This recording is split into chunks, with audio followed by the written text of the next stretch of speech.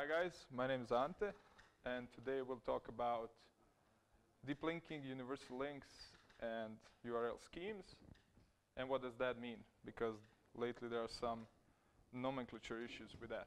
So today we'll go through uh, why do we even need something like URL schemes and universal links, uh, how do we use them, and just to define what deep linking finally is.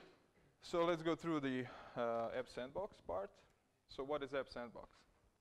Well, that's a, access control technology used on Mac OS and Mac OS X and on iOS. Uh, what it does, it like um, defines the logical space within which within the app resides. So what what does actually mean is the app can apps cannot share resources between them not in a simple way like on, I don't know, some other like desktop machine. And um, it improves security in that way that if one app is compromised, it cannot, uh, well, it cannot do anything wrong to any other files, which are shared. Okay, it's enforced at the kernel level, so it's not in our control. So if we look at our apps like that, our home screen should look like this. So a bunch of sandbox spaces. So what if we had some hand-drawn popular social networking app? Uh, how would it communicate with other apps? So we can check on the next slide, how does it see other apps? Yeah, it doesn't see them at all. So what, uh, on the first impression, what we think about uh, app sandbox will be something like this. So in order to communicate with other apps, it's not that good. But let's rethink about that. So app sandbox points is not to ease up inter-app communication. It's more of a security-based thing. Um, it's not a complete restriction just because having URL schemes and universal links. It's more of a controlled access. And uh, if you ever used or built an iOS app, you've used it maybe without even knowing that. So now when we have App Sandbox, now what? So there's, uh, we'll talk about inter-app communication, the ways to achieve that. What inter-app uh, communication includes is URL schemes and universal links, which are introduced lately with iOS 9. So let's go through URL schemes first. So what are URL schemes? Uh, they are based on a protocol, they are protocol-based communication in between apps. Uh, what we need to do to achieve it is to define a URL scheme, which is kind of in our control, which is not that good of a thing, on the receiving app. And we use can open URL and open URL in the sender app to open it and to communicate with it. It allows arguments passing, and since iOS 9, it requires whitelisting, which means that any domain which we communicate with, we need to define in our info plist file. So let's go through that. How do we set it up? So simple, in the build settings of your project, if you open info, you see under URL types, you can add your own URL scheme. Here you can see we use the reverse URL notation, similarly we do with uh, bundle ID. And this is, we define this whatever we want. I mean, whatever we want. Not exactly whatever we want because if we define, something like uh, SMS, HTTP, then the Apple will interfere and use its own apps for that. But if we define something like SSL pinning, it will use our app when someone else calls it. So this is how our info plist file looks after that, part of it. So the keys, the key keys here are bundle URL name and URL schemes. You can see that this is an array, so we can have multiple. We're not uh, constrained to just one. Uh, how do we get it? So if someone calls a wrap, uh, can you see this? Okay. The uh, it's basically a UI application app delegate object, which uh, and this is the application app open URL options method, delegate method, which is called when some app wants to communicate with our app. So in the URL argument, we get the URL which the app sent. It can be, we'll actually see that on the later slide. And in options, we can get uh, which app called us. So we have the source. Okay. So how do we invoke it? We invoke it by the open URL, still blue. Okay. So here it says UIApplication, shared application, can open URL. So we define the URL as SSL pinning double dot slash slash open home. And we want to check does our device support that link? Do we have an SSL pinning app installed? Actually, app which has SSL pinning URL scheme. And can we open it? I mean, do we have it and we open it? Okay. So some of the native URL schemes are mail to, tel. There's tel prompt actually too. Uh, the difference with tel and tel prompt, they both redirect to, uh, I mean, not redirect, direct to phone app and call with the argument of phone number, but tel prompt returns us to our own app after. Uh, FaceTime, SMS, while Maps and iTunes use the default HTTP scheme, which is like, you can say starting of the universal links because they used it before. You, you say HTTP double slash uh, double dot slash slash maps dot something, it will redirect you to the Maps app or the iTunes app if it, if it was HTTP double dot slash slash iTunes something. What's the bad thing about this? So, what if we don't have that app installed? There's no good way to handle it. We cannot redirect user, we cannot do anything with it. It's buggy lately. It has some issues, especially in iOS 9. The updates, they don't look good.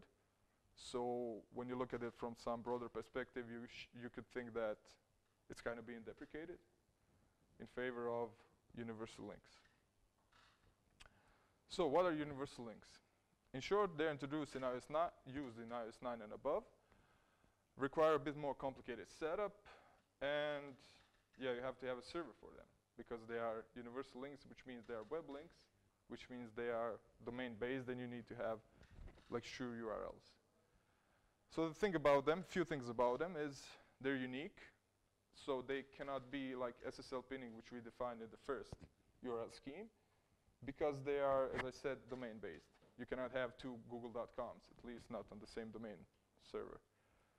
Okay, they're secure because they use, um, we'll talk about that later, but there's a file which you need to use in your web server root directory, which is being checked when the iOS uh, sees that there's a request for an app to be opened or the URL, and, he, and the iOS checks should it open the app or the web URL, but first it looks at this file, which is in the root. We'll talk about it later. It's flexible.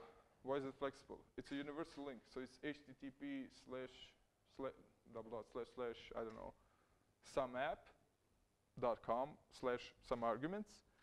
If we have some app opened, I mean installed on our device, the iOS will try to open that app. If not, it will just go to that link if we are in Safari or whatever. They're simple, they, they work both for the website and your app. They're private, which means you don't have to check and you don't want to check and you actually can't check. Uh, is the app installed? You just try to use the link. If it goes through, goes through. You don't know, did we go to the app, which is in the device, or did we go to the website? So how do we set it up? There's an uh, Apple App Site Association file, which contains the JSON data about the URLs that app can handle. And we have to upload it to the server. That's that file which, which is being checked when we try to open that app. It looks something like this. So it has an, uh, this is actually a file for two apps. So we can see here its first app is bundle ID is com apple wwdc. And it allows wdc slash news domains to be opened. I mean the domains by paths and video slash wdcw uh, slash 2015 slash star, which is like every other directory similar to regular expressions. I mean, exactly like in the regular expressions. And for the other app, com apple wdc with another bundle ID, it's all, all domains from the can be opened with it. Okay, so from the app side, we need to add an entitle- entitlement, which spec- specifies the domains that app supports. That's the same thing as the whitelisting for URL schemes. And, oh yeah, we need to uh, use this method, application continue user activity restoration handler, to handle calls to our app from some other app. So our app is the one which implemented the, the universal link. And in the NS user activity object, we can uh, get the web page URL property, which contains the whole URL and arguments. So finally, what is deep linking? well, deep linking is just a term describing uh, describing navigation to an app, but with specified page or resources to navigate to. It's been uh, used a lot lately, but especially since the universal links arrived. So people just mess that up. I also, when I uh, had one change request from a client, I uh, read few, I I mean, few minutes. I read about it, and it was, I was like, this is not something's wrong here. So I wanted to like investigate and see what's up. So deep linking was here before universal links. It was here when there was uh, URL schemes because in your we can see that right here. So this right there. so this is the URL scheme thing. The same shared application can open URL and open URL methods. So what is deep linking? Is this part here. So we have an argument. We don't. We just don't open the SSL pinning app. We send an argument which has open home. So if it's a, it has a menu or tab bar, we can open home home view controller. Nothing else. That's all that deep linking is.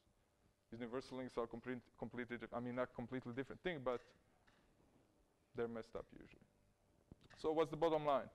If we compare URL schemes and universal links, it's something like I don't know if any of you guys remember when when there was like those first graphics comparing uh, SOAP and JSON.